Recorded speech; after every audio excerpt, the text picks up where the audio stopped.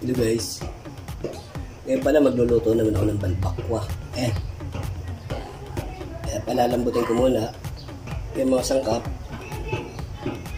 Yan, sangkap. Isasama ko na sa pakulo yan. Pin-pressure cooker ko na para mabilis na lumabot. Yan. Tapos mamaya, saka ako magigisa ng panibagong sibuyas, bawang luya para itos toasted para medyo para yung lasa humawa sa sabaw pag malambot na yung ano pag luto na. So yan, yan lang muna guys. Hello guys? Ito na pala yung aking ano. Nagigisa uli ako ng bawang at saka sibuya ano bawang luya. Itutost ako para dito sa balbakwa. Ito na yung balbakwa oh.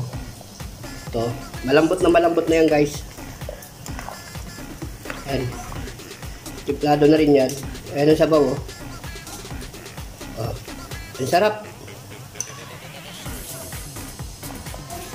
Tutustayin ko lang yung bawang at saka ano, luya.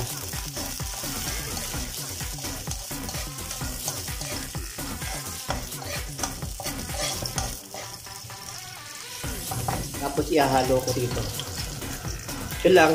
Kami ulo guys, ito na pala yung luto ko, ano, buffalo wings. Ah, buffalo wings. Ano ba ito? Balbakwa.